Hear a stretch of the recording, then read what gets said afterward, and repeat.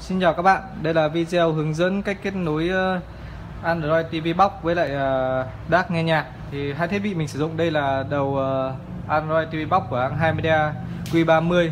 Đây là model bán rất chạy tại cửa hàng mình. Và cái DAC mình đang sử dụng là DAC nghe nhạc SQ5 Cổng kết nối đây mình sử dụng là cổng quang optical cho các bạn. Đây, mình sẽ quay mặt sau các kết nối cho các bạn xem. Đây là cái USB để mình cóp nhạc lốt led vào đây. Đó đây các bạn nhìn phía sau nhé phía sau đây mình ờ, cái cổng quang đây, vị trí cổng quang đây mình đã cắm ờ, dây vào đây rồi. Còn đây cái dây HDMI để nối lên màn hình. Đó, đơn giản vậy thôi. Đó, cổng quang kết nối xong cái ờ, Android TV Box đó. Còn bên này là DAC nghe nhạc SQ5 mình đây nhé bạn nhé ấn vào đây để lựa chọn cổng vào. Đây là USB nhé đây là cox xoan các bạn chọn về optical cho mình. Đó, đây là đã nhận vào cổng quang rồi. Đây là kết nối phía sau. Đấy, đã cắm vào đầu vào là uh, optical in rồi. Hai dây AV này mình dùng uh, nối xuống âm ly Mazda ở bên dưới. Đó, các bạn lưu các bạn nha là giờ tín hiệu quang mấy là tín hiệu số thì nó không bị nhiễu nhưng mà riêng tín hiệu analog nó bị nhiễu nên các bạn chú ý là mua dây à, dây AV à, nó là dây có cái dây này dây xanh đỏ à, trắng đỏ đấy các bạn. Dây uh, RCA nó tốt một chút. Đây mình đang dùng dây RCA của Monton 1 mét có bọc chống nhiễu hai đầu. Đó. Đây sau khi mà đã kết nối xong như này và chú ý là ở dưới mình là cái âm ly nhé bạn nhé. Mình đã kết nối số âm ly mình không quay về phần âm ly nữa. Và sau đây mình sẽ mở nhạc lên cho bạn xem.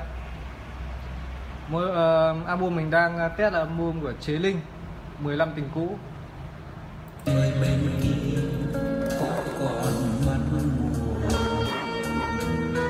Đó.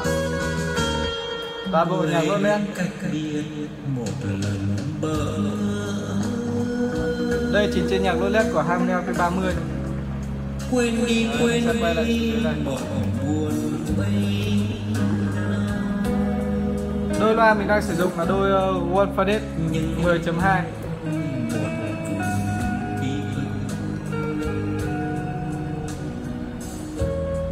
vẫn còn trong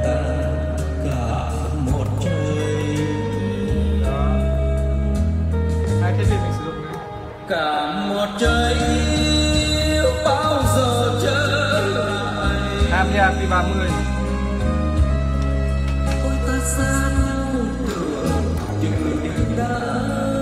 Target 15 Ôi ta yêu nhau để lòng Mình chỉ cần ấn đổi cổng là nhạc dừng luôn. Tình bất phân ly Đó. Tình nhạc vừa rồi nhạc trên TV nhé đành nhủ lòng thôi.